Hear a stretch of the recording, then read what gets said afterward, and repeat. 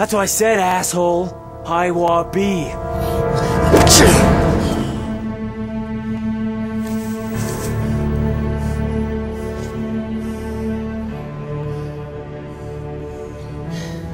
You want to do business or not?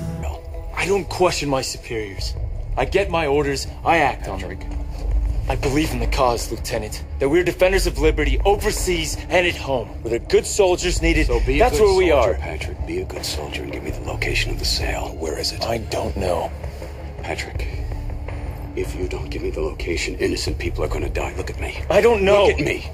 Innocent people are going to die. I don't And know. I Only know Butler knows. You don't want that to happen, do you? That's not who you are.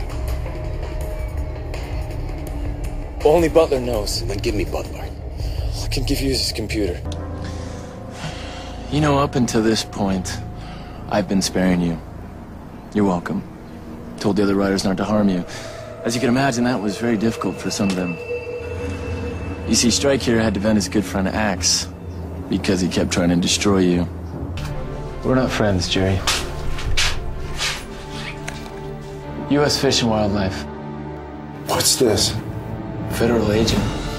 You're under arrest for bear poaching and illegal sale of bear parts. It's gotta be some sort of joke. In violation of the Lacey Act. You have the right to remain silent. Anything you say can and will be used against you in a court of law. This will never go to court. You have no idea who you're fucking with. No, Jerry. I know exactly who I'm fucking with. Oh, no offense, Mother. But you are in no position to judge Kay. I'll say. All right, I'm not condemning you the way that Ethan is. I get that what you did, you did it out of love. But sitting here and, and beating up Kay for keeping your secret? I don't think so. Well, vaya con Dios, son. Go right along, little lady. You know what? You're a really bad recruiter as well. You really need to get your head back into the game, man.